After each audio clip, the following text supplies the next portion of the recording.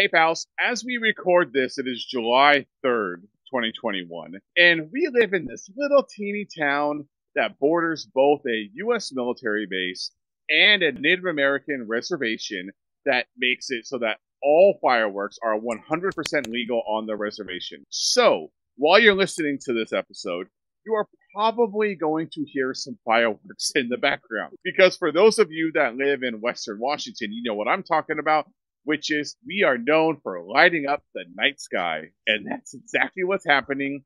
Started about three days ago and will go on for about six more days. All the fireworks, all the time.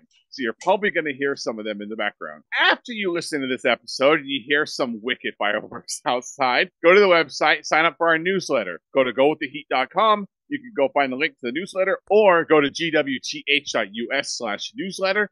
You will find a way to subscribe to our newsletter. And in that newsletter is some amazing videos and information and additional content around our last episode for Tiger Claws. And if you subscribe now, you will get our additional information from Action Jackson, which I'm not going to give any spoilers. So just go sign up for that newsletter. All right, on with the show. Hello and welcome to Go with the Heat. I'm Dominic. And I'm John. I'm Melissa. And this is your cultural guide to punch, chop, and kick your way through the greatest era of action movies. This week, we are talking about a class, an ultimate classic in action movies, in 80s action movies, with who might be the sexiest man in this season of the podcast.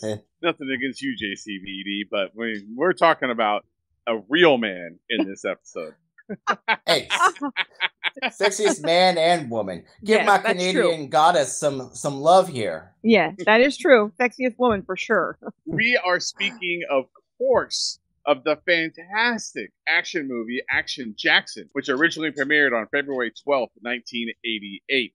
It is directed by Craig R. Baxley. Now, Baxley is a longtime stunt coordinator, to some work on Police Story, Roots, MASH, Dukes of Hazzard, The A Team, the Warriors. Ooh. We've seen this man doing stunts in a lot of the movies that we've watched. He didn't direct many movies except for one little film called Stone Cold. Of course. oh my god, it makes so much sense. makes so much sense. It's yes. the same story, just with a white guy. He's suspended. They like demote him. It's, oh my god, he just did the same story. He didn't it, change it. So wait, what does he have about football players? Oh, true story. I mean, they are yeah. beefy. Maybe that's what it is. Like the beefiness.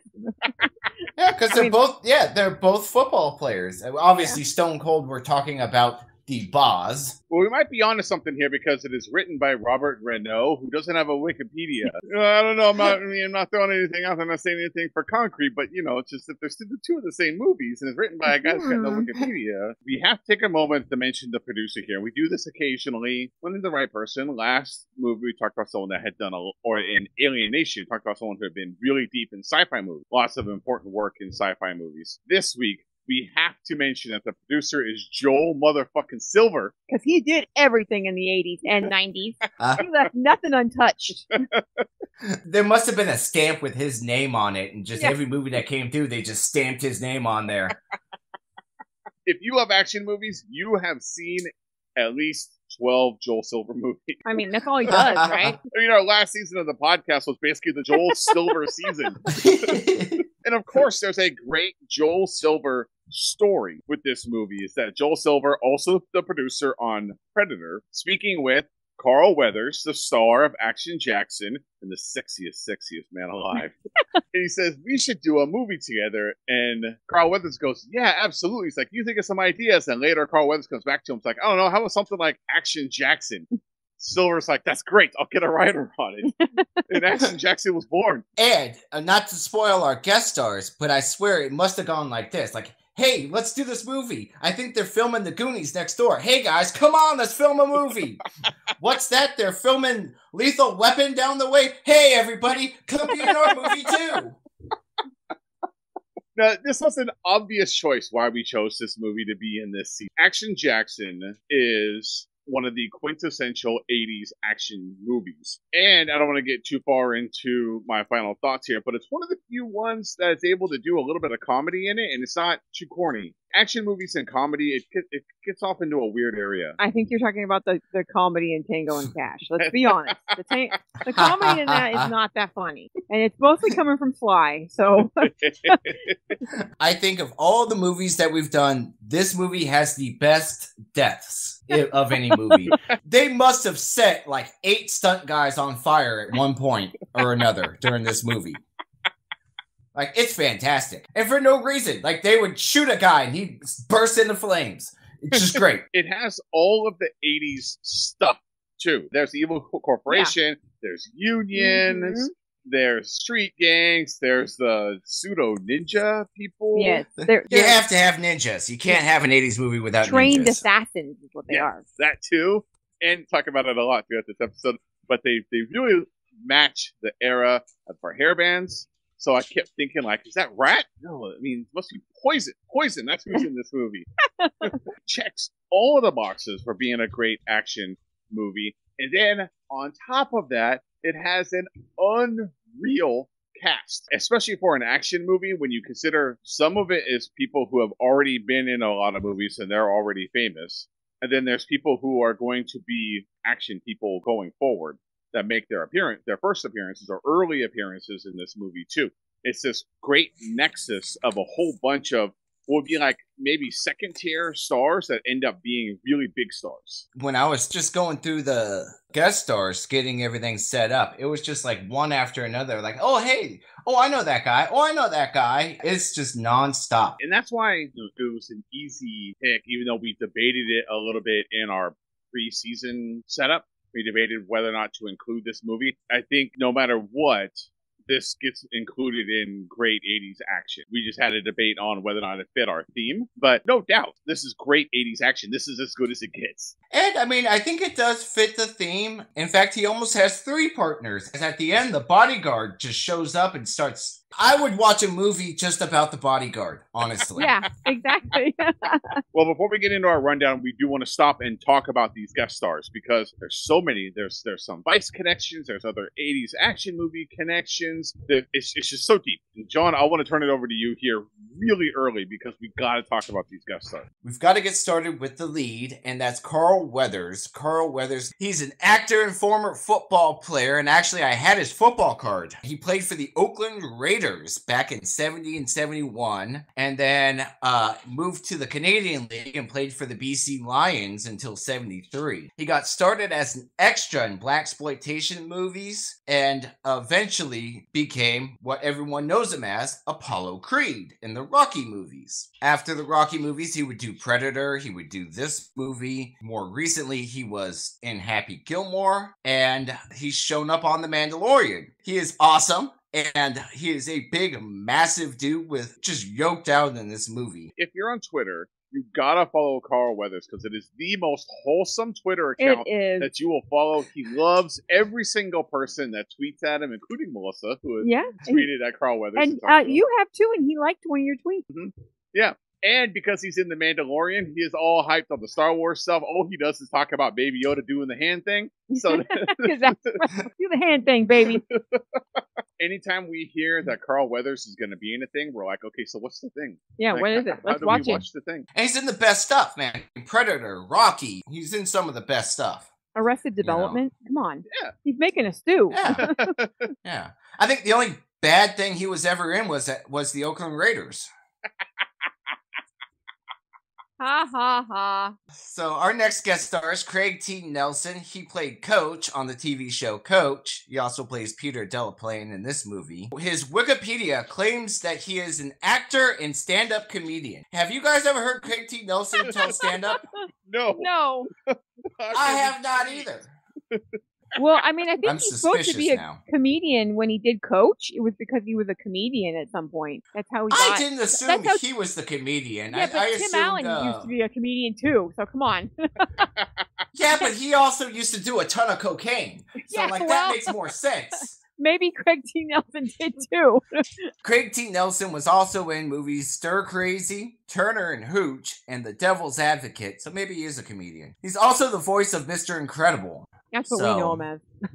Yeah, that's what probably most people know him as now. I didn't realize he was in Stir Crazy. Yeah, so the only that's thing I ever underrated think of movie. when it comes to Craig T. Nelson is Coach and Poltergeist. He was in Parenthood too, the show. So that's what I always think of him as. Our next guest star is the beautiful and talented Vanity. Now, guys, I've talked about Vanity all the time. She's the Canadian singer, model, dancer, actress Denise Matthews. She was given the name Vanity by Prince when she was chosen to be the lead singer of Vanity Six. She would go on to have a successful solo career, and then she would leave music to become an evangelist before her death in 2016. If you want to read something interesting. Her last marriage was to a guy named Anthony Smith, who was also an Oakland Raider. And she sought him out after he did some charity, thinking, oh, he's such a nice guy. They had a really abusive relationship, and it turns out he murdered three people. That's a whole TV movie in its own. All right, moving on. We have Sharon Stone, who you guys would know from Basic Instinct, Casino, Quick and the Dead, Total Recall. She's an actress, model, sex symbol. Everyone knows the scene from Basic Instinct when she does the leg thing. So I could go on and on forever. There's so many guest stars in this movie. I mean, Bill Duke, who was also in Commando and Predator with Carl Weathers. He's in the movie. Robert Davi's in the movie. He was in Die Hard and The Goonies. He was in The Goonies with Mary Ellen Trainor, who's also in this movie, who was also in Lethal Weapon 2 and 3. So, and I could go on. Biff is in this movie from Back to the Future movies. Like, it just goes on and on and on. Yeah, there's just a ton of guest stars, etc., etc. It is so stacked that every scene that has more than just like the, the, the main characters, you're like, hey, who's that? And you have to go to IMDb or something like go scroll through like, haha, I knew it. That guy. All right, so we got to get into the breakdown of this movie because there's so much to talk about. So many, so many different things happen from Paula being stripped down, jumping out of windows, karate, Craig T. Nelson doing karate. We got to talk about this movie. Let's go break this one down. Okay, so this opening is fantastic because there's a PR person working with their boss, like a CEO, and they're trying to come up with the lamest "I'm sorry for your loss" letter to, yeah. to the union or someone at the union. Meanwhile, the Scorpions are rappelling down into the into the office, and the PR person, the secretary, then they switch from "Hey, I want to write this sorry you for your loss letter" to "Let's now bang." In this office, he totally fails at because he immediately tries to put on some sports thing on the TV. Yeah, she's like, oh, sports, thanks. It's total sleazy boss and the sec- 80s sexual harassment. We're working late. Come on. Let's do the nasty. And then ninjas show up out of nowhere. And the part that gets me, I'm not surprised by the sexual harassment from the boss. I'm a little surprised about the ninjas, but that's the 80s. Why does the union guy have a Glock on him? Like, where did that come from? He's just packing heat while trying to bang the secretary? you think it's going to be this by the numbers, this team is going to break in. First, they do break in, and then they just punch that poor woman. That woman. poor woman just punch her so hard, and it looks so realistic. You're like, oh my god, they punched her for real. She's Mary Ellen dead. Trainor's dead. it's like they're messing with him throughout the whole scene because like they could just easily kill him but instead they're like toying with him and then when they do kill him they don't just kill him a little bit they blow him out of a window on fire they kill him a lot.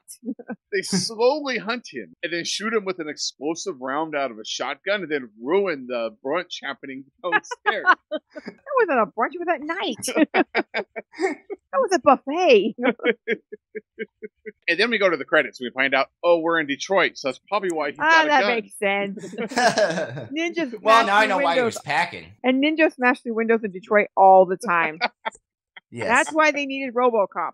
I mean, come on. So then we jump from there to a scene of a couple cops driving through the city, and they say one of my favorite lines. One guy's bragging about getting some tail, and the other cop goes, Ain't been no pussy in your house since your mother helped you move in.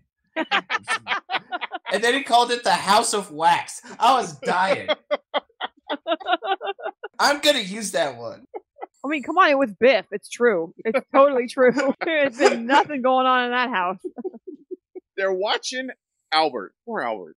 Albert, he's just Poor a kid. Yeah. He's through the whole movie too, which is another thing that's great about this. is That Albert's just throughout the entire film, including the end scene. He's in the critical part of the end scene of this movie. They're following him. They finally do arrest him, and when they arrest him, they start talking to him about Action Jackson, who apparently his father is Bigfoot, who raped Yes. his mom, and the guy wants to shoot his hand off to avoid the man. I just want to come back to Bigfoot raping his mom. Yeah, what the hell? Yeah.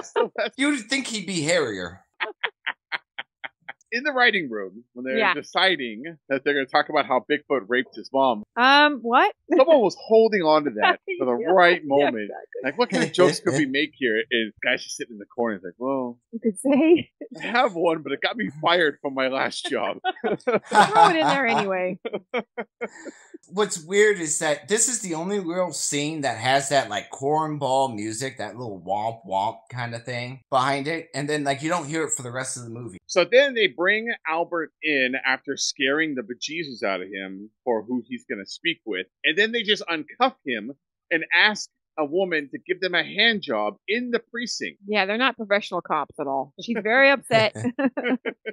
and she kicks him in the crotch. And then Albert takes off running, and nobody can stop him. All these cops are just like letting him go by. It's the most packed precinct you've ever seen. Police station is full of people, and they're all just like, oh, papers flying everywhere. They've never seen someone run before. Good thing he Well- ran into Action Jackson's desk, because otherwise he would have just ran right out the door. Action Jackson stopped him because he's a former Raiders linebacker. He's the only one capable of tackling him. he wasn't at his desk. No, he wasn't at his desk. Yes, right, yeah.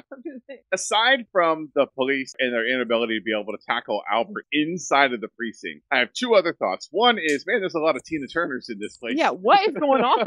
and then just more thoughts about the 80s and cops and about how we've had a string of movies now where there's cops in it and they treat people really, really horrendously. And yet there's never any repercussions for those cops. Well, I have news for you. That still goes on. That doesn't Just- make any different. Just observation.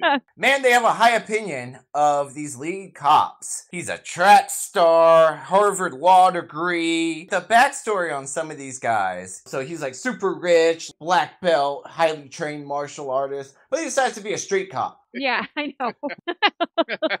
so now, partner, his former partner, and Action Jackson need to go talk to their chief, Chief Armbrush. It's a great name. It's a great name. Not only is it a great name, but it's a great name for Bill Duke.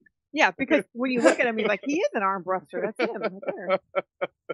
I'm pretty sure he's still playing the same character from Predator. He's just out of job now. Which is the same character in Vice. Different story, though. Yes. Yes.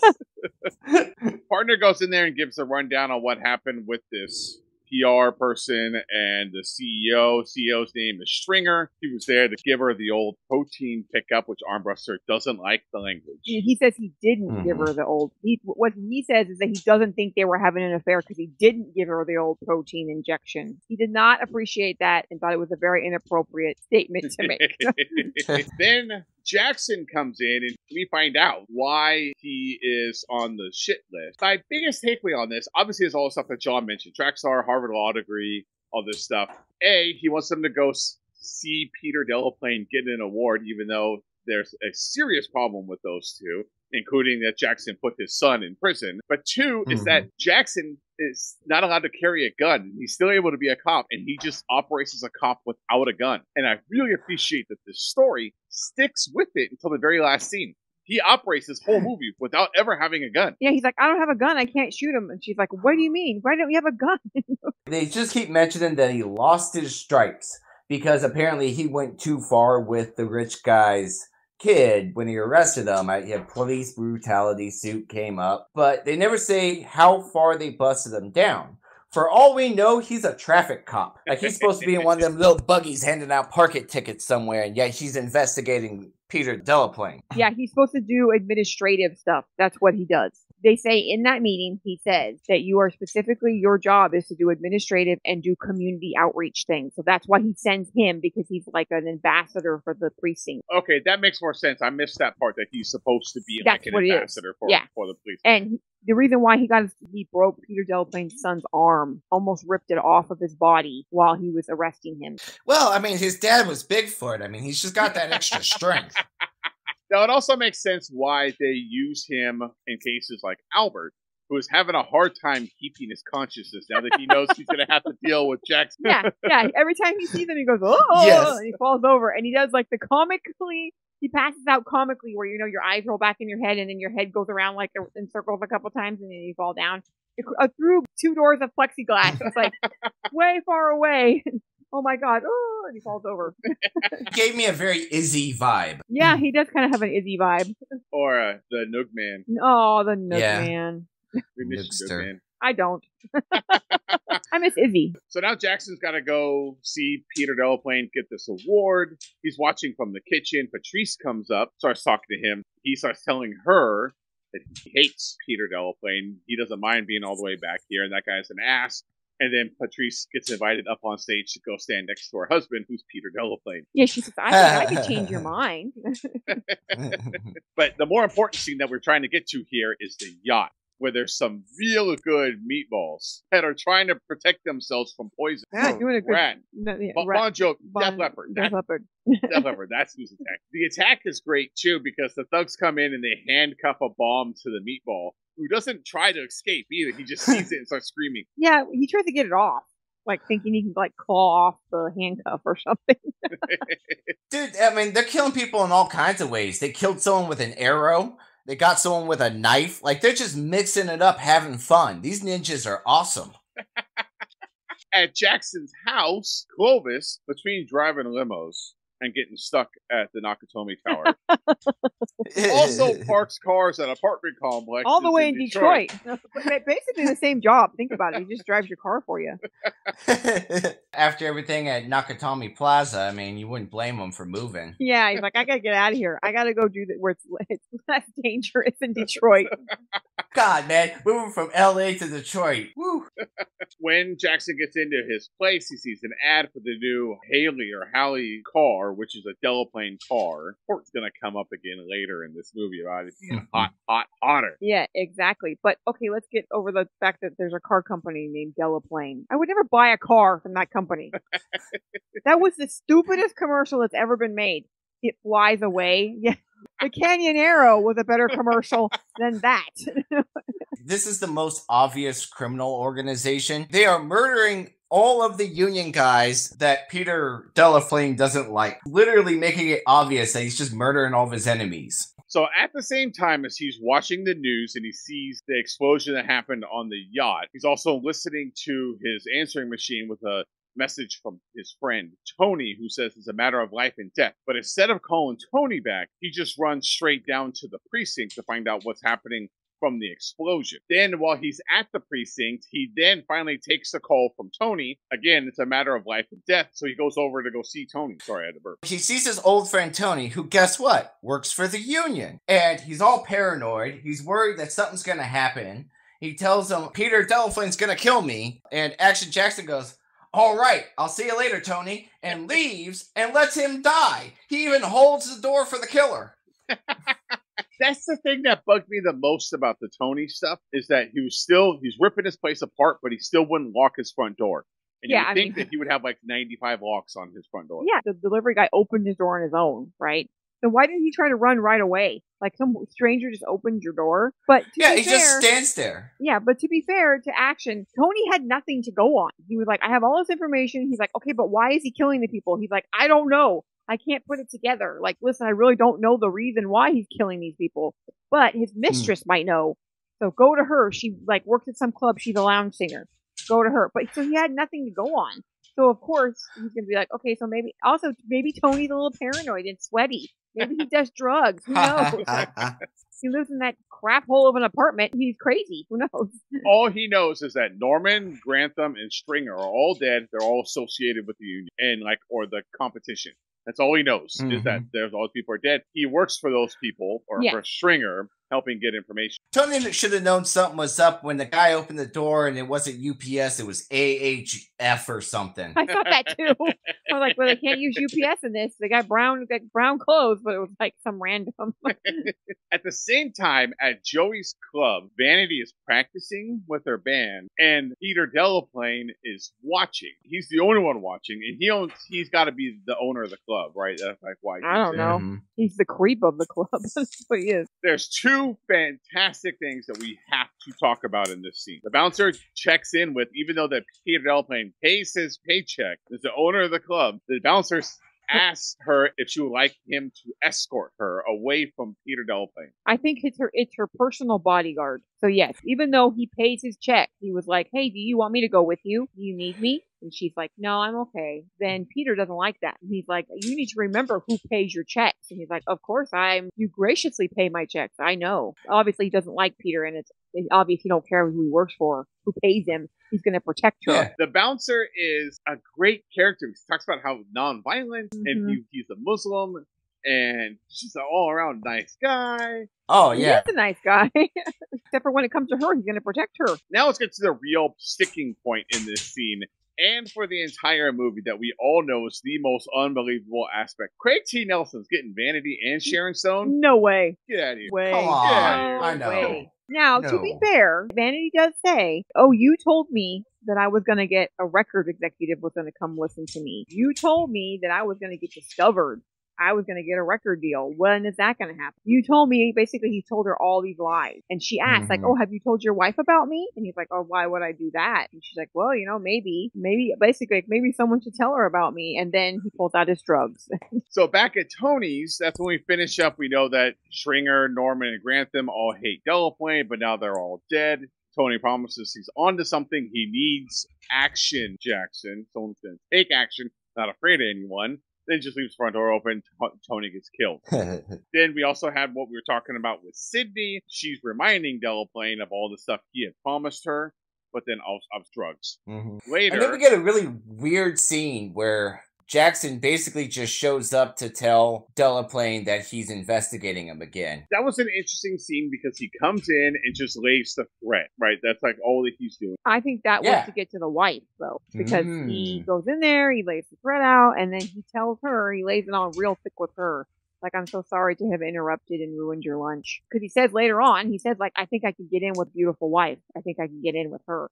And because he knows right away, because they, they talked and they kind of flirted, and she had some kind of rapport with him. He thinks he can get in with her. So I think Hmm. that was part of it. He was going to go there and show her, like, hey, look at all this stuff that your husband is doing. She really had no idea, and then she Yeah. then it did. It it worked. It spurred her to be nosy and to listen in on conversations that she really had no part of. At the next scene, we're at Delaplane's, and first of all, we start off with proper entry for when you come into the gangster slash gang leader house that he's beating the fuck out of one of his own people. Yeah, I think that having a practice fight, Yep. but Delaplane's a cheater. it's clearly someone else that other guy brought in for him so that he could train as a sparring partner, but he's supposed to be sparring him, not kicking the crap out of him. And also, he's a cheater. He waits till that guy turns his back and then punches, sucker punches him.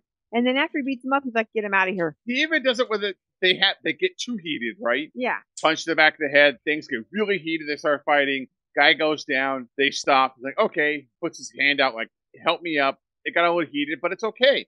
Delphine grabs his arm and then shatters it. because that's Coach. Can you believe it? That was Coach doing that. Where's Oh, Dauber God, at when you need him? Oh, I was gonna say, thank God he never broke Dauber's arm. I know. Poor Dauber. He's such a gem.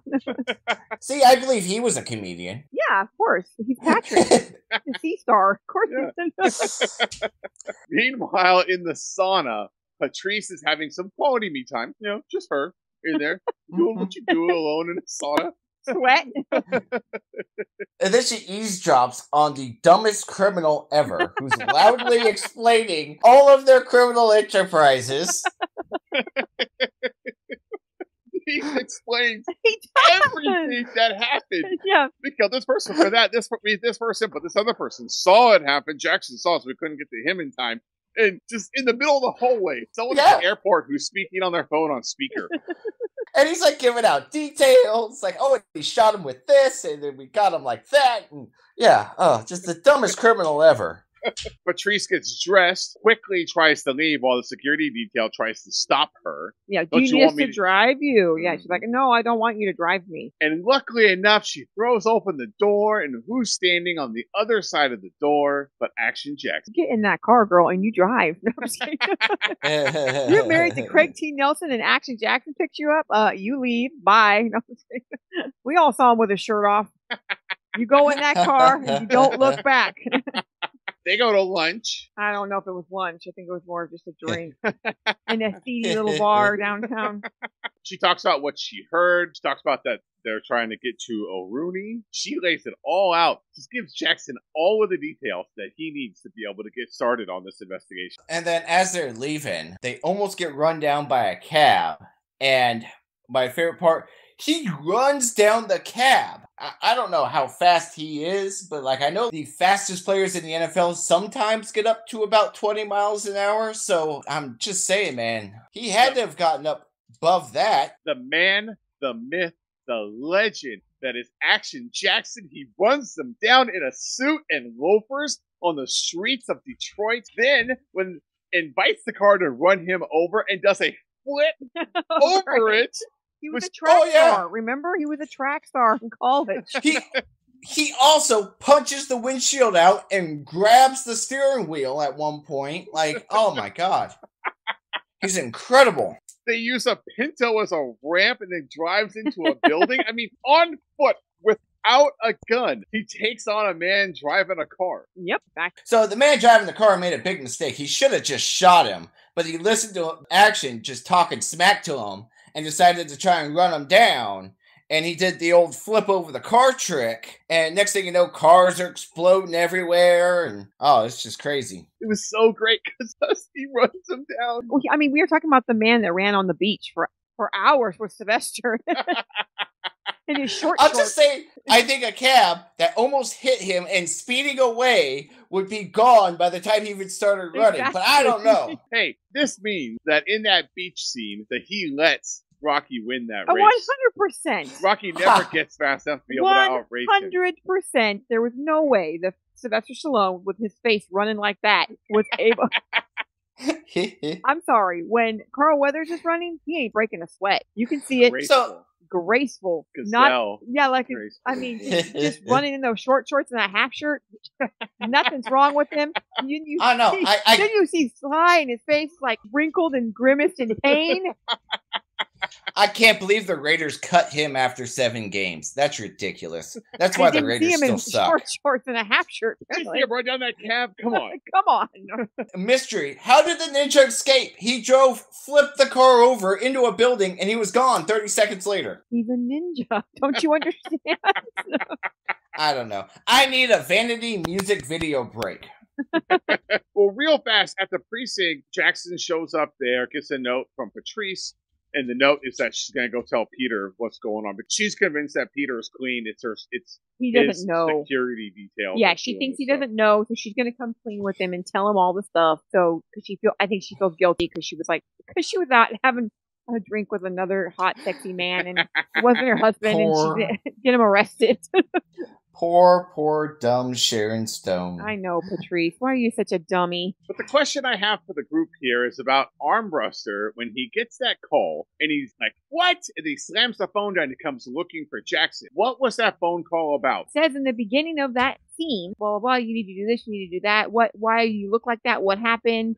He's like, oh, I, you know, whatever. I, I wrinkled my suit or something. And then he, in the background, someone says, hey, Rooney's on the phone for you. So he goes and gets it. So that's what it was about. It was about him interrupting that dinner because that lunch, because he went there with those pictures. And, and that's why he doesn't know anything about the street or any of that yet. Because he interrupted the lunch when he went there with the pictures of the dead guys and was like, hey, look at this, look at that. That's the part I didn't hear was that they said oh, O'Rooney was the one that was on the. the secretary guy who hands him message from Sharon Stone. He's like, I didn't dream her. She was a beautiful vision. Well, how do you keep getting these women? He talks about his suits and stuff. And he's like, oh, here, by the way, Rooney's on the phone for you. Whatever, so and so Rooney is on the phone for you. And that's when Action Jackson's like, uh oh. And he takes, he makes like a weird look on his face and he takes off. Okay, that makes more sense because I thought it was going to be about the car wreck and like they tried to kill. him. What's No, yeah. supposed to do? It's not about the car. Yeah. Because the cops don't they don't even show up and he leaves before they even get there. So they wouldn't they don't even know he's involved in that. Okay, so now we're gonna get to the full music video of Vanity singing to Action Jackson, who, by the way, is really into. Yeah, I mean he he looks like he wants to get up and dance. Like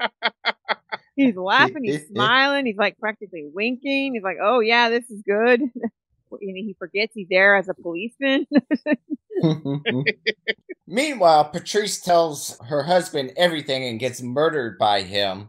And the whole time I'm thinking, like, how's he gonna get away with first? Now he's murdering all of his business competition. Now he clearly murders his wife. How's he gonna keep getting away with all this? But I guess the trick is to just move the dead body into a black man's living room. I mean, I I mean, mean, I guess. I guess.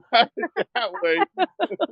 The cops Well, aren't going to do I- any additional investigation at that even point. even if the black man happens Yeah. to be a police officer, a decorated police officer, they're like, He "Mm." did lose his stripes. I mean, yes, and he did, he did lose his stripes because of Delaplane's son, so that's what they think, right? Because of that, he goes berserk and murders Delaplane's wife. Just murder Delaplane. Immediately, you knew what was going to happen in the scene because Delpane comes walking in, and Cartier, that's the name. I of know, that's the name of that guy.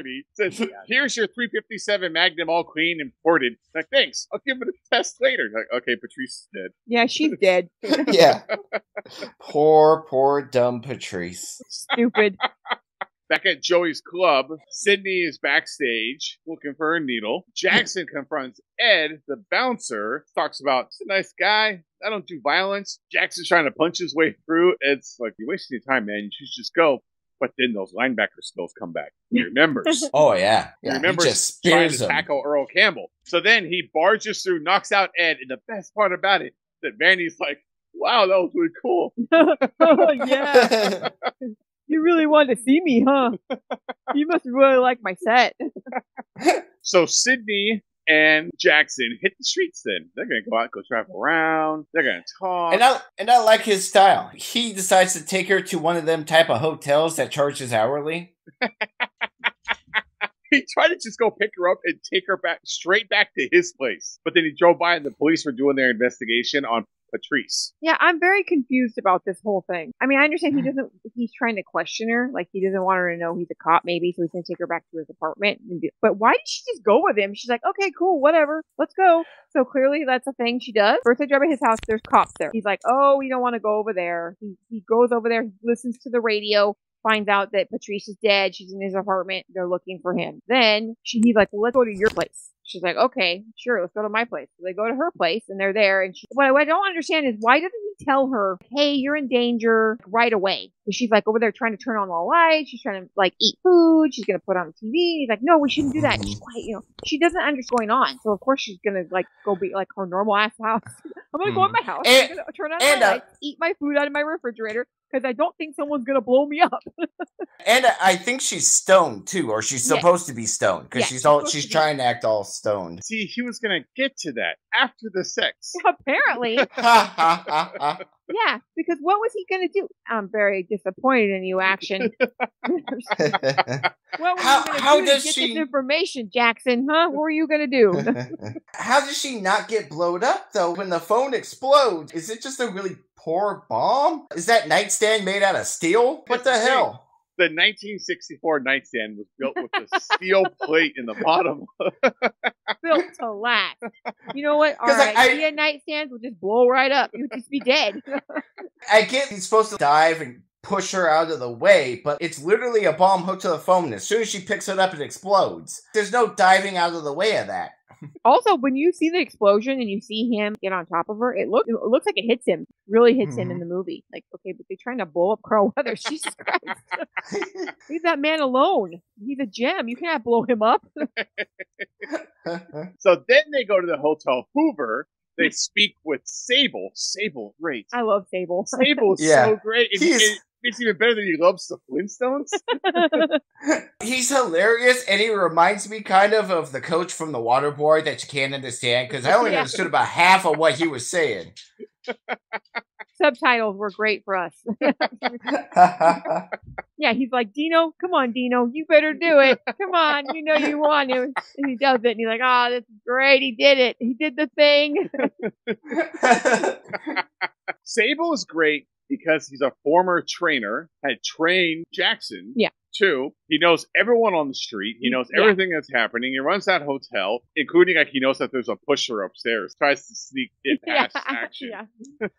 Then when they're upstairs, one more time, Vanny's like, "Hey, like you can do this thing." Jackson, "Nope, you're going to bed. I'm going to bed." The next morning, Albert brings up breakfast, which is the second time now we've seen Albert just out on the street because at the bar scene with he tries to go in up, that uh, bar. trees. Yeah, Mhm. yeah. He comes in to bring Mhm. a tray of food, and he's like, "Oh my God, you're Action Jackson." And see, Yeah. Sable said, "Don't worry, I'll have Einstein bring breakfast up to you Albert the next morning." Albert Einstein. yeah. So also- let's talk about owning versus renting a little bit. So he he mentions that Delaplane owns her. She kind of says it's more like renting her. The, clearly, Action Jackson owns Albert, the room service guy, because he loses his mind every time he sees him. He just he's just in his head. He owns his car, which is left in very few pieces in the alley when they come out, and he apparently is only renting his wallet, as it is no longer with him when they, when it gets taken off of him. She makes a comment on the way out that he should be on the A team, but clearly, probably he shouldn't, considering he couldn't protect his car, his wallet, or her. yeah, don't insult Mr. T like that. He would keep his wallet and his car and protect his girl. Hell yeah, and he'd have that guy's chain. Exactly. we do have a little bit of brevity here because Jackson is arguing with Sydney. They're arguing back and forth about what to do. And Jackson says, Why would I ever need help from a junk? And that really hurt her. She was really hurt by that, that he called her a junkie. It comes Mhm. up again and again, which is like, You need my help, don't you? You need my help, don't you? She's like desperate for someone to need her something other than her body. Yeah, and he does Mhm. need her help. So he uses her through the whole movie for for help. Yeah, and she keeps saving his ass. First, he goes trying to chase down some dude named Papa Doc, and not the one from Eight Mile. And it, he ends up getting mixed up with a bunch of guys who keep people's balls in jars. I don't think that's someone you want to go messing around with. Listen, these guys are very, very excited to talk about balls, T- about about touching balls, cutting balls, cupping balls. They are They very, have- very excited about touching balls. I mean, there's a whole scene where they talk about how he's lucky they're not basically raping him. What Mhm. the hell is Well, going on? Anyone that has a collection of balls in jars is not Yeah. to be trifled with. nope. and he doesn't understand what the hell's going on the whole time. He's like, I don't know what you're talking about. I don't understand. Are you this dance action? Come on. they are so excited to get to Jack's balls. but then I mean- Sydney comes in and rescues him, says that this is my crazy little brother, like legit insane. And then Jackson goes on the rampage about how Jesus sent him there. Maybe he did. Maybe Jesus likes balls too. and then he uses his Jesus powers to whoop everyone's ass. but Vanity saved him because he was going to have his balls cut off if she had came in there and made up a story. And then So- as they leave, he calls her a junkie again, and it hurts just as much as the first time that After she helped him, she saved his balls. Yeah, she saved his balls. And then he gets back to the hotel, and Sable's like, hey, dummy, should have just asked me. I would have told you that they keep balls in jars over there. and that he's dead. His balls are down there in the jar. yeah. You don't wanna so, go and down he there. sends him, sends him to his hairstylist because she knows everybody. she So- is fantastic, by the way. I love Dee. D Yeah. needs her own spinoff. Yeah, she needed her own like Yes. sitcom or I don't know something. Let's get a movie of D and the bodyguard. D knows everything, and you know what? It's great, really, really great for Jackson because up to this point, the storyline has gone nowhere, and the writers have done him no help. They backed themselves into a corner. Yeah, the no. movie's got to end in about Yes. 15 minutes. So yes. Thank We- God. Thank God this smart talking woman showed up with all the information that you could ever want on all the backstory about everything, including that Delaplane killed his first wife and his first business partner. in like 45 seconds, filled in all the gaps that were missing in the story up to this point. We were just out having fun for about 60 minutes. And Yep. he's like, okay, yes. chop chop. let's get this back done. on track. Exactly. Here's what happened. Enzo was his partner, killed him, but he had this group called the Invisible Men. Invisible Men got got greedy. Delaplane paid him off. Enzo killed his first wife. They would have killed Jackson too, but he got demoted, so he wasn't a threat anymore. Also talks about oh Rooney. Thank Everybody. you, D. Thank Everybody. you. yeah. I mean, she might as well have been holding the script at that point. So now Jackson's going to go back to the hotel. Sydney's gone. They go up to room 303. Is where Sable says the pusher is. In there, it's the man who apparently survived his attack with Predator. He actually didn't die in that attack. Maybe he's unkillable because he took a massive amount of junk when Action stabs him with the heroin needle. And he just kind of laughs. I think that guy in real life would do that too. I mean, we've seen him in a lot of stuff. 48 Hours. He was in, obviously, Predator. He's in this movie. We saw him in some other really bad movie we watched too. Well, Action, being uh, son of Bigfoot, hits him so hard, he doesn't just fall out the window. He goes out the window and into the next building. you might say Like, I've watched a lot of movies. I've never seen someone get knocked to the next building before. we get the Benny Hill police scene. They jump out. Van- Uh, Sydney and Jackson jump out the window on top of the convertible, and then they get in the police car and drive away. Now, if you know anything, that the best place to hide is inside of stolen police I was gonna say like, and then they drive it around for hours. no Yes. one noticed it or looks for it when they're just driving around all over the place in it.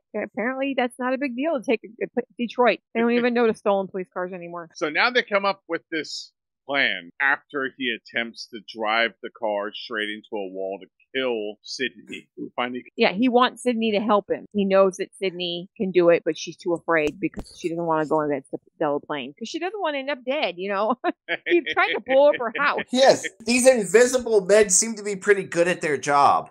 Yeah, So what they're gonna do is is that the next setup that's supposed to happen, they're gonna have Sydney go in and act like it's Delaplane that's sent, and then have that guy come out to the docks and then talk to Jackson. That way they can get on the inside track of what's gonna happen. yeah, because they don't even really know why Delaplane's killing people yet, and all they know is that he's going to try to kill Rooney the next day, but they don't know like what any any of the details or soon. I don't know if they know if it's the next day at that point. They just I think if they're trying- just went back and talked to Dee, they would find out why he's trying to kill people.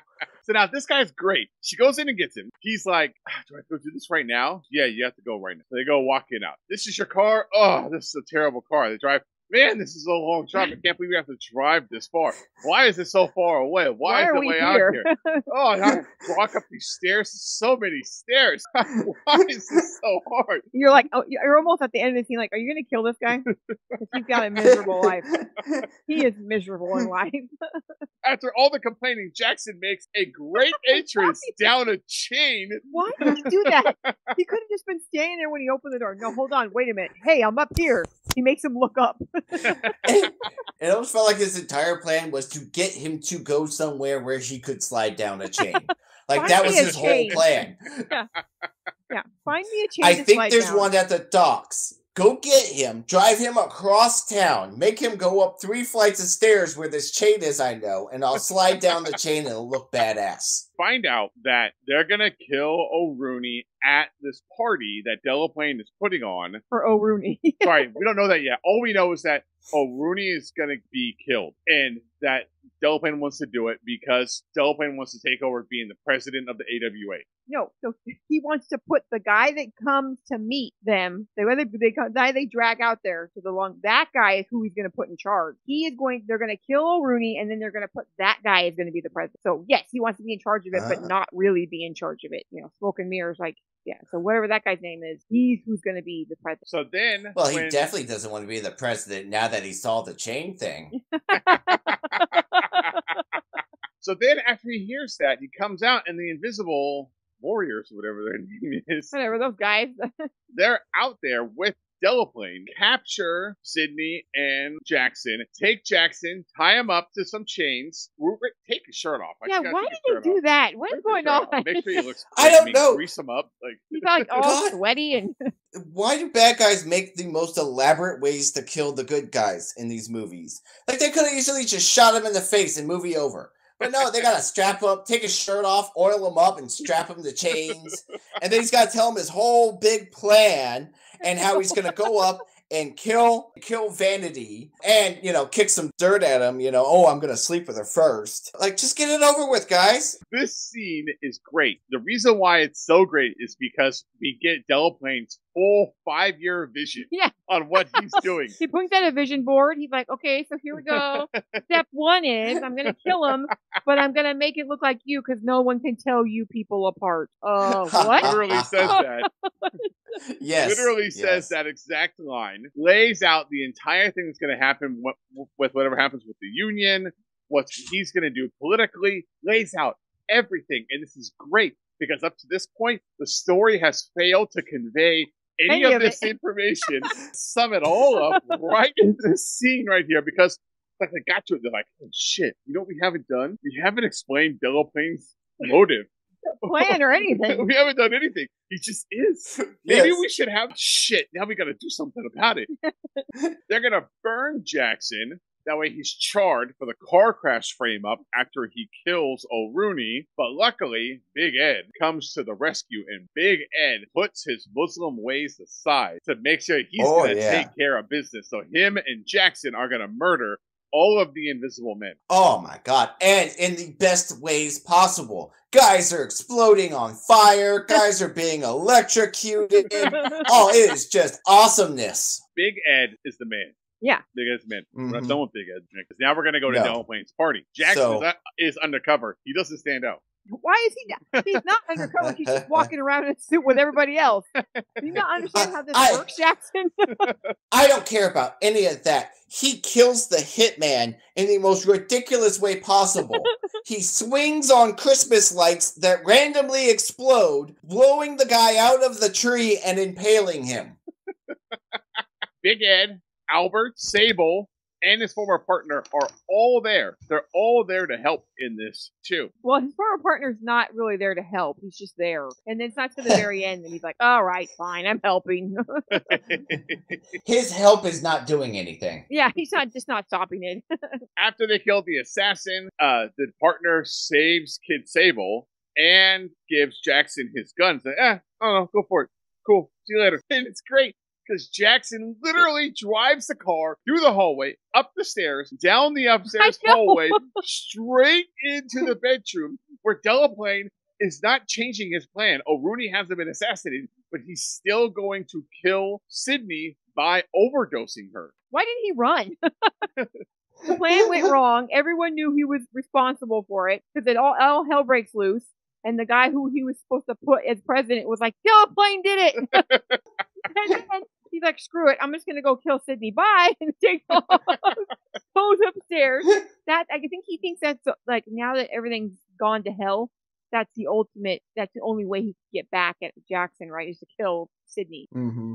They go in instead of a shootout, they're going to have a karate off. Because he was kicking people's ass before in karate. So, But Apollo Creed don't play. exactly. After Delaplane starts getting whooped, they both go for their guns, but Jackson gets to his first lethal shot on Delaplane, non-lethal on Jackson. He just gets hit in the shoulder. And then, perfect, absolute, perfect 80 ending to the movie. Armbruster Yes. comes in and goes, what the fuck happened here? Oh well, I'm promoting you to lieutenant. Sydney's gonna go cold turkey, and now we're in love. The end. The end. This is such a great movie.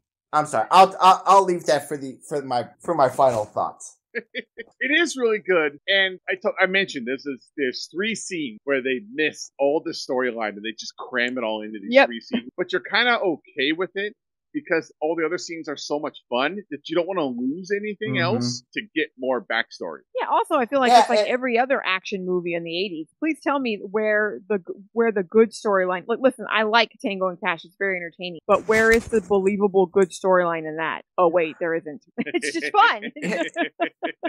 Exactly. It's just one of those movies where it's just action and the plot doesn't really matter. Like you just kind of accept that, like, okay, Craig T. Nelson's a bad guy because he kind of looks like a bad guy.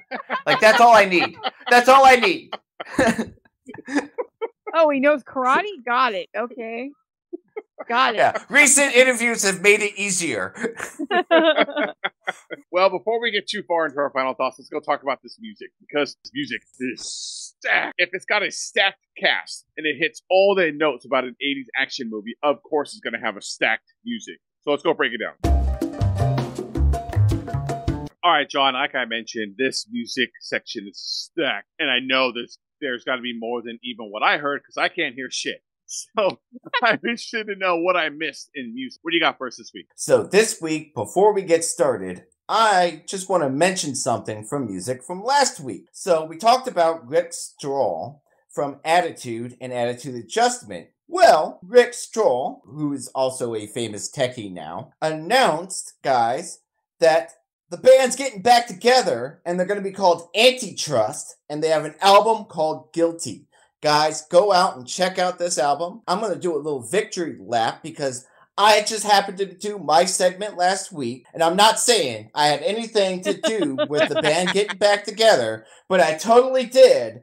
And guys, I'm an influencer now. My music segment is is is making things happen. People are gonna want to be in my segment. I, I'm just saying. You, you're welcome, Antitrust. And everyone go out and check out their album Guilty. So it sounds like it's going to be an awesome album. Go check it out. As John mentioned, it's a mix of attitude and attitude adjustment that they were able to get together and make this album. Rick Strahl posted it on his Twitter. That's how I found it.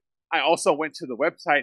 I bought the CD. So coming in, I don't know, about a week, I'm gonna have my hands on the real CD and a pack of stickers from the from Hell the new yeah. band. I bought it. I put my money where my mouth is. I'm gonna listen to it. I think it's great that they got back together and that they're making some more music. I'm gonna put a link in the show notes to where you can go see the album and, and it for sale. And then I'll look to see if it's available on any streaming services. So if people want to listen to it, they can do that too. And the last thing I'll say is that if you want to know what kind of music it is, Attitude came out of the same scene in that San Francisco, Oakland metal scene that Metallica and other bands came out of.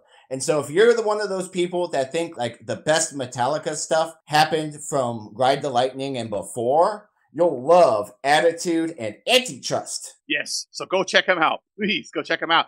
It's it's just it's awesome that they got back together. It's also awesome, and for us that are getting older now, it's awesome for Yeah. when people who are like over forty still get their they get their band back together. They find their passion again, and they go do that stuff again. Because a lot of times that stuff just like comes dust in the wind.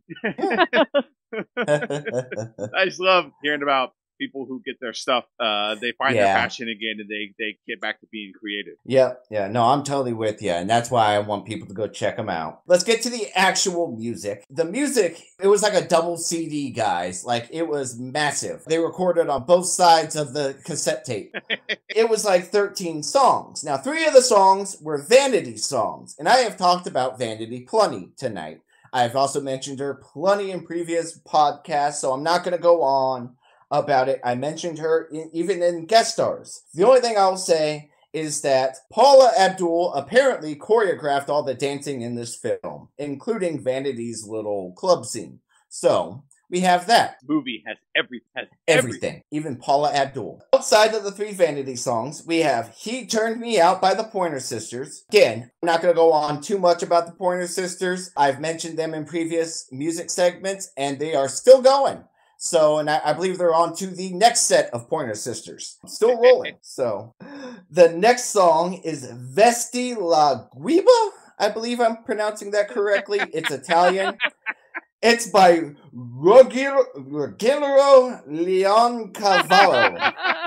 it gets worse, yes. So, and apparently, he was an Italian opera composer from 1857 to 1919, uh, or he lived from 1857 to 1919 in Italy. He had an awesome mustache, and he's known for the opera Pagliacci, Oh wow. Okay. which is why he's probably got the funny mustache. I'm just saying. Our next song, because there's so many songs, these aren't going to be. I'm not going to go into depth with anybody. We're just going to do quick hitters, guys. So the next song is Action Jackson by Madam X. Madam X is a glam metal band formed by sisters Maxine and Roxy Petrucci. Now, this is going to be a theme, guys, with sisters and siblings uh, throughout the rest of our music. This band, Madam X, was glam metal, and do look up a picture of them. Like, totally 90s hair glam metal band Nice. like awesome. And this they did this song Action Jackson for Slap Me One Records.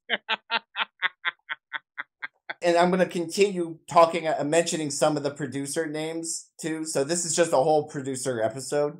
Um, our next song is Protect and Serve. It's by West Coast Posse, which is an old school rap group, but I'm not exactly sure. There's not a ton about them. There was a couple CDs called West Coast Posse on Spotify, but outside of that, I don't know a whole lot about them except that the song was written by Stevie No Wonder Sal- Salas, Pee Wee Jam, and MC Jam. So that must have been the most awesome West Coast uh, rap group ever. Pee Wee Jam and MC Jam. I didn't really have a whole lot to go on for them. But our next song, Keeping Good Lovin' by Sister Sledge, goes back to our sibling group. It's a vocal group consisting of four sisters Kathy, Debbie, Joni, Kim, and Kim Sledge. They were formed in 1971 from in Philadelphia, and uh, they made some international disco hits that no one listens to anymore. I didn't realize that's why their name was that Sister Sledge because they're four. Their sisters. last name Yeah. is yeah. They're all four sisters, and their last name is actually Sledge. Our next song is "Lovers Celebration" by Skyy, and this was for Alligator Bit Him Productions. They are a funk disco band known for the song Call Me. They were formed in 1981 and they have had a bazillion past members. So I'm not even going to bother trying to name any of them. Our next song is Funky Broadway by Wilson Pickett. He's a US singer-songwriter with 50 songs that made it onto the R&B charts. Hits like Mustang Sally. He would co-wrote In the Midnight Hour and the song Land of a Thousand Dances and a bunch more. I love the song Mustang Sally. I, I prefer the uh, Buddy Guy version of it. A little more bluesy. Moving on, back to the siblings. That'll Be the Day by the Newton Brothers. That'll Be the Day must have been a cover because it was written by Norman Petty, Buddy Holly, and Jerry Allison. So, and none of them were in that, obviously. Instead, the Newton brothers are six real brothers of a family of ten brothers. Damn. Can you imagine that? I Also, know, it's- ten boys. No. Yeah, no girls, all ten boys. I go looking for the Newton brothers, and I can't find anything. They don't have a Wikipedia, but they have a Mormon wiki. Guys, there's a Mormon Wikipedia. I didn't even know. There's go to mormonwiki.com. So, according to Mormon Wikipedia, their band is called Six, not the Newton brothers anymore. They're now known as Six. They're a vocal group of six brothers Barry, Kevin, Lynn, Jack, and Owen, and Curtis Newton. They perform in Branson, Missouri, and uh, all over the place. They got their first exposure on the Donnie and Marie show in 1978, and then they finally hit it big after doing regular gigs at local clubs. They began to form in 1988 at Disney's Blast to the Past, and that got them a st- in this movie because it's 1988 when this movie came out. So, like, their big break went from Disneyland to in this movie.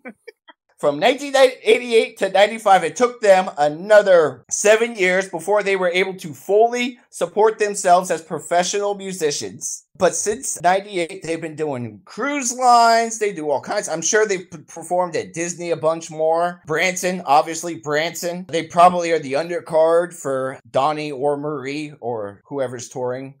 They were awarded Branson's Best New Show in 2006 and Best Show of 2008 9. So, our last song in music, For the Love of Money by Levert. Levert is a band formed of brothers Gerald and Sean Levert and their friend Mark Gordon. They were formed in 1988 in Cleveland, Ohio, and they are the sons of Eddie Levert of the O'Jays Hmm. who are an old know that. Motown band. Yeah, unfortunately for them, even though they had a ton of success during their musical career, things did not end well. Gerald died in 06 of a heart attack due to an accidental OD of prescription drugs, whereas Sean died in 08 while serving time for not paying child support. So, Damn. yeah, not great. There's your music, full of sibling drama. there you guys go. There- there's your music. We, you This know. went exactly the way that I hoped it would, which is uh, Off there's the a lot of music. We're gonna go. Listen, we're going on a journey. I mean, come Yeah, on. How would you gonna think a Mormon group would be in Action Jackson somewhere?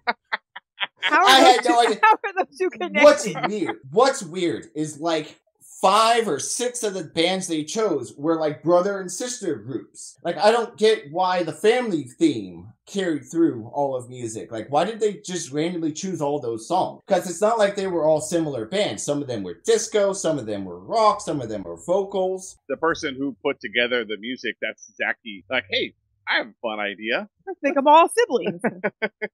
Yeah, I want to say if anyone out there has a West Coast Posse CD or knows what happened to Pee Wee Jam and MC Jam, I'd like to know. and make sure you go out and check out Antitrust's new album, Guilty. Yes. That's your music. All right. Let's go give our final thoughts on Action Jackson. I have a feeling this is we're all going to be on the same page here. So let's give our final thoughts. All right, Molsum. How about you start us off this week? What are your final thoughts on Action Jackson? I love this movie. I love Carl Weathers. I love Action Jackson. What's not to say? It's got a cheesy storyline. Now, I mean, I actually really love this movie because if you think about it, this is one of the lone, not the lone, but one of the few movies that's action movies where it's got a black main character. And I think they do a really good job of including a lot of like what would have been side character actors too in this. So it's got a wide range of people who you would have never Mhm. seen before. And then to put them all, I, I know they're in like Die Hard and whatever, like the Goonies and stuff like that, but Well- to put them all in one movie together is a really big deal. And to also include the, the cast is stacked with older actors too, right? Like the, a lot of the older actors in there were very popular and it stacked with them and they were side characters too. So there's lots of good people in it. I mean, I know the storyline is kind of lacking in detail, but I think it's okay because it has fun and it's zany and it's got some comedy and you get the big explosion in, like John said, the people die in these big fantastic ways. I mean, there's like an invisible army that goes around and kills people, but they have giant mullets. They're not actually, they're not actually invisible. and it's Carl Weathers. Like, please give me all of Carl Weathers. Anything Carl Weathers does, I'm going to be there. I'm going to watch it. I'm, I'm there. I'm there for Carl Weathers. John, what are your final thoughts? So I, I want to touch on. I agree with Melissa. Not just black male lead. When was the last time he's paired with Vanity, a black female? When was the last time a female or a black guy wasn't paired with a white guy? I love this movie. This movie is just so. I had not watched it in a long time up into watching it again, and when I watched it, I just remembered every reason why I love it because it is. It's very Tango and Cash. Like it, plot line doesn't matter at all. It's just fun action. You just have fun every scene through the whole movie. Guys are blowing up, cars are exploding for no reason, but it doesn't matter because it's just fun. I always love Vanity, and I, and of course Apollo. I love Apollo. Yeah, it's just a fantastic movie from beginning to end, and just with everything. And I think it just encompasses everything that we do the podcast for these movies. You know, it's it, it's a great 80s action movie. It has all of the 80s tropes in it. It's got everything that we love, and it's it stars Carl Weathers and Vanity, two of our favorite people. I, I'm glad we were able to get it into this season. I will parrot everything that you two have said. That's what makes this movie great is that it's so fun. It's got action, got some zany comedy. They're able to poke fun at themselves a little bit too throughout the entire movie. So it's just fun. And that's what is fun about 80s action is that they were willing to not take themselves so seriously. Not like now, which is Sky Portal opens, Mhm. an entire American city is destroyed, and then the only way to fix it is to go through time and stop the Sky Portal. It's not as big of Uh huh. problem. It's not as dire. It's it's they're willing to not take themselves so seriously. So that does make it so much fun, and it is really fun. And I really like this movie. We probably watch it every couple of years, once a year, maybe a, a- every couple of years. So just reminded all the time about how much fun it is. I am going to bring up something controversial for the room right here, which is I don't think it fits our theme because I think she's a damsel in distress and he's protecting her. But I understand that I am wrong and stupid. Mm. Yep. well, I mean, you're wrong about this. Yes, clearly. I mean, me and John went out to went on to point out all the ways she helps him, and the, she actually helps him lure people Uh-huh. in and help save him. But yet she's still just a damsel in distress. Yeah, yeah. I mean, if if it was up to Dominic, we'd have a ballless Apollo Creed. So His balls would be in a jar. Come on. Come on. I just want to say that I have a sneaking suspicion that when we get to the end of the season, then we're picking our best sidekicks. That Ed is going to be higher on my list than Vanity, and it hurts me to say that because I love Vanity, but Ed Ed is probably the better partner in the scenario. A- Actually, I'm probably gonna go with D. yeah, I know. well, we all know she's better than Psych, so there's that. The last thing I wanted to say about this movie is that uh, it was supposed to be a part of a franchise, and it never did. And I'm kind of disappointed it wasn't. I'm this would have been a that great that. franchise, Uh, like because you know we got the Lethal Weapons, we got the Die Hards, and I think Action Jackson could have fit that. So it's unfortunate we never got that. I agree. Yeah, I wish we would have got more Action Jackson. I think there's still an opportunity now based on how many remakes and reboots and stuff that there are right now that we could revisit it Mhm. with the older Action Jackson and a, a passing of the torch, say. But anyways, never give up hope is what I'm saying. hmm Come on, Carl, make it happen. Meet you at Burger King to discuss it. You're talking a free meal? and that's going to do it for us this week on Go With The Heat. We hope you enjoyed this episode. We would love to hear from you. Email us, go with the heat at gmail.com. Come on, email us. Let us know what you think about Craig T. Nelson's karate abilities. we want to know. you think, did you think for one minute that we were going to get through an episode that wasn't going to be any karate? Boom. Craig T. Nelson is the man's name. he knows his karate. He's no William Pickles, but you don't have to do for this movie. Oh my God, I just remembered. Mr. William Pickles. reminder, people, that you need to subscribe to our newsletter because in that newsletter, there is a video of the Yes. real William Pickles on his own TV show doing an interview with Jalal Merhi. It's real, 100% real. Yes. You've got to subscribe to our newsletter in order to be able to see that. To subscribe to the newsletter, go to the website, gowiththeheat.com, or go to gwth.us slash newsletter. That's our short URL. Get it? Go with the heat.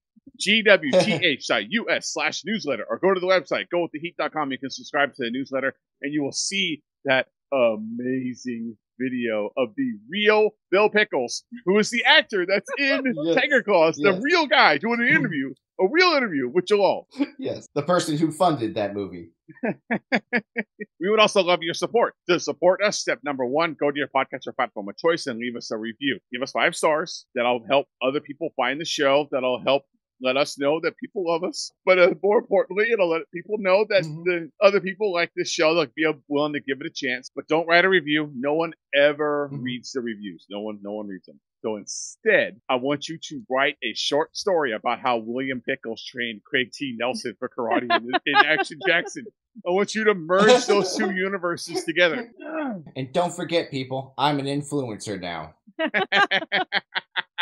Support step number two. We want you to go find Rick Strahl on Twitter. I'm going to leave a link in our show notes on how you can do that. I want you to tweet at him let him know that you heard about him on the Go with the Heat podcast and that you're buying the out that their their new album that they just released. Just like me, I for real bought that album. We want you to go to Rick Strahl, let him know that you heard about the album here on Go with the Heat and that you're buying his album. Please do it. He needs the support. Support step number three. After you're done giving Rick Strahl money, give us money. Go to the website, go find our Patreon, our PayPal, our Venmo, or Square Cash, and send us some money. If you're going to spend 10 $12 on an album from Rick Strahl, why can't you send us 10 $12? No, just send it to us and then we'll go buy more albums.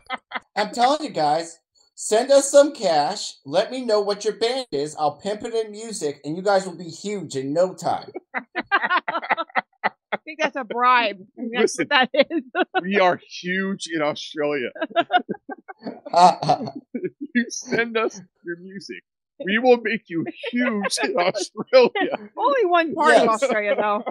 yes, Only one That you region, will- really. But you will make so many didgeridoos. Go to that website and find all the ways to contact us and support us. Go with theheat.com. That's going to do it for us this week. We hope you enjoyed this episode, and we'll see you all next time. Bye, pals.